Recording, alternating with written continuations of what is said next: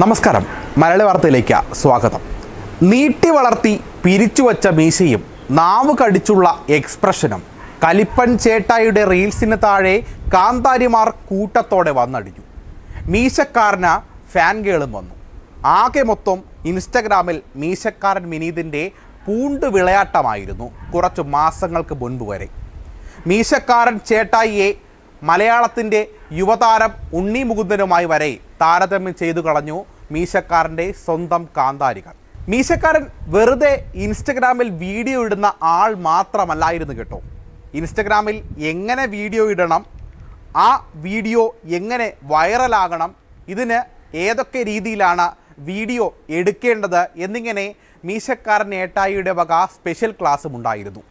ഈ സേവനം യുവാക്കൾക്ക് ലഭ്യമല്ല എന്നത് പ്രത്യേകം ശ്രദ്ധിക്കണം.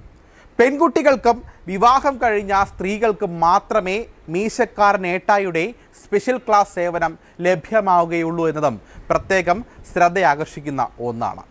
ആദ്യമൊക്കെ ഇൻസ്റ്റഗ്രാം ഇൻബോക്സിൽ ലഭിക്കുന്ന ഇത്തരം സേവനങ്ങൾ പതിയെ ഹോട്ടൽ മുറികളിലേക്ക് മാറും. പിന്നെ സംഭവിക്കുന്നത് ചരിത്രമാണ്. ചരിത്രത്തിനൊടുക്കം ചേച്ചിമാരുടെയും കാന്താരിമാരുടെയും ആന്റിമാരുടെയും ചാരിത്രം മീശക്കാരൻ മൊബൈലിൽ പകർത്തി കൊണ്ടുപോകും. പിന്നെ ഈ ദൃശ്യങ്ങൾ കാട്ടി ബ്ലാക്ക് മെയിൽ ചെയ്ത് പണം തട്ടുന്നത് മീശക്കാരൻ ചേട്ടായിയുടെ വേറൊരു വിനോദമാണ്. ഇത്തരത്തിൽ കഴിഞ്ഞ ഓഗസ്റ്റിൽ മീശക്കാരനെ കന്റോൺമെന്റ് എ സി ഷാജിയുടെ നേതൃത്വത്തിലുള്ള പോലീസ് സംഘം പീഡന കേസിൽ അറസ്റ്റ് ചെയ്തു. ഇൻസ്റ്റഗ്രാമിലൂടെ പരിചയപ്പെട്ട വിദ്യാർത്ഥിനിയെ ഹോട്ടൽ മുറിയിൽ വിളിച്ചു വരുത്തി പീഡിപ്പിച്ചെന്നായിരുന്നു പരാതി. പുതിയ കാർ വാങ്ങാൻ ഒപ്പം വരണമെന്നാവശ്യപ്പെട്ടാണ് ഇയാൾ വിളിച്ചു വരുത്തിയെന്നും പരാതിയിലുണ്ടായിരുന്നു. കസ്റ്റഡിയിലെടുത്തതിന് പിന്നാലെ വിനീതിന്റെ ഫോൺ പരിശോധിച്ച പോലീസ് സംഘത്തിന് ഞെട്ടിക്കുന്ന വിവരങ്ങളാണ് ലഭിച്ചത്. നിരവധി പെൺകുട്ടികളുമായി വീട്ടമ്മമാരുമായും ഇയാൾക്ക് അടുപ്പമുണ്ടായിരുന്നു. ഇവരിൽ പലരുടെയും സ്വകാര്യ ദൃശ്യങ്ങളും ചാറ്റുകളും പ്രതി ഫോണിൽ സൂക്ഷിച്ചിരുന്നു. പരാതി ഉയർന്നതിന് പിന്നാലെ അഞ്ചു ലക്ഷത്തോളം ഫോളോവേഴ്സ് ഉണ്ടായിരുന്ന പ്രധാന Instagram I D Vineeth delete ചെയ്തു. എന്നാൽ മറ്റൊരു ഐ ഡിയിലും ഇയാളെ പതിനായിരത്തിലേറെ പേരാണ് ഫോളോ ചെയ്തിരുന്നത്. മീശ പിരിച്ചുള്ള പല വീഡിയോസും ഈ ഐ ഡിയിൽ കാണാൻ സാധിക്കുമായിരുന്നു. ഈ കേസിൽ ജാമ്യത്തിൽ ഇറങ്ങിയിട്ടും വിനീത് നാട്ടിൽ നാണം കെട്ട അവസ്ഥയിലായിരുന്നു എന്നാണ് പുറത്തു വരുന്ന വിവരങ്ങൾ. ഇതിനിടെ മീശയാണ് തന്റെ ശത്രുവെന്ന് മനസ്സിലാക്കിയ വിനീത മീശ എടുത്തിരുന്നു. എന്നിട്ടും പോയിപ്പോയ വില മാത്രം തനിക്ക് തിരിച്ചു വന്നില്ല. വീണ്ടും ഒരിക്കൽ കൂടി ഇൻസ്റ്റഗ്രാം ഉൾപ്പെടെയുള്ള സമൂഹ മാധ്യമങ്ങളിൽ സജീവമായി ജനലക്ഷങ്ങളുടെ ആരാധനാ പുരുഷനാകണമെന്ന ആഗ്രഹം വിനീത് മനസ്സിൽ സൂക്ഷിച്ചിരുന്നു. എന്നാൽ അതിനിടയിലാണ് ആസൈമൂത്ത മീസക്കാരൻ കുഴിയിൽ ചെന്ന് വീണത്. തിരുവനന്തപുരം ജില്ലയിലെ കണിയാപുരത്തെ പെട്രോൾ പമ്പ് മാനേജറിൽ നിന്ന് രണ്ടര ലക്ഷം രൂപ കവർന്ന കേസിൽ മീശക്കാരനുൾപ്പെടെ രണ്ടുപേർ അറസ്റ്റിലായത് ഇക്കഴിഞ്ഞ ദിവസമായിരുന്നു.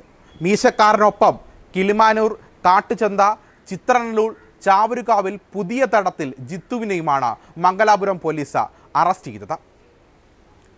കണിയാപുരത്ത് വെച്ച് കഴിഞ്ഞ മാസം ഇരുപത്തിമൂന്നിനാണ് കവർച്ച നടന്നത്. കണിയാപുരത്തെ ഇന്ത്യൻ ഓയിൽ കമ്പനിയുടെ നിഫി ഫ്യുവൽസിന്റെ മാനേജരായ ഷായുടെ പക്കൽ നിന്നുമാണ് പ്രതികൾ പണം കവർച്ച നടത്തിയത്. ഉച്ചവരെയുള്ള കളക്ഷനായ രണ്ടര ലക്ഷം രൂപ സമീപത്തെ ബാങ്കിൽ അടയ്ക്കാൻ കൊണ്ടുപോകുമ്പോഴാണ് പ്രതികൾ തട്ടിയെടുത്തതെന്നാണ് പോലീസ് പറയുന്നത്. പ്രതികൾ സ്കൂട്ടറിലെത്തിയാണ് പണം കവർന്നത്. അന്വേഷണം ആരംഭിച്ച police C C T V ദൃശ്യങ്ങൾ പരിശോധിച്ചിരുന്നു. സി സി ടി വി ദൃശ്യങ്ങളിൽ പ്രതികൾ പോത്തൻകോട് കടന്നതായി വ്യക്തമാവുകയും ചെയ്തിരുന്നു. അതിനിടയിൽ പൂലന്തറയിൽ വെച്ച പ്രതികൾ സ്കൂട്ടർ ഉപേക്ഷിച്ചു. തുടർന്ന് പ്രതികൾ ഓട്ടോറിക്ഷയിൽ വെഞ്ഞാറമൂട് ഭാഗത്തേക്ക് കടന്നതായി പ്രദേശത്തെ സി സി ടി വി ദൃശ്യങ്ങൾ പരിശോധിച്ച് പോലീസ് മനസ്സിലാക്കി. അതേസമയം പ്രതികൾ ഉപയോഗിച്ച സ്കൂട്ടർ നഗരിൽ നിന്നും മോഷ്ടിച്ചതെന്നാണ് വിവരം ലഭിച്ചത്. തുടർന്ന് നടത്തിയ അന്വേഷണത്തിലാണ് പ്രതികൾ തൃശൂരിൽ നിന്ന് പോലീസ് പിടിയിലാകുന്നത്. ഇതിനിടെ മോഷ്ടിച്ച പണം വിനീത് ചെലവഴിച്ചിരുന്നു.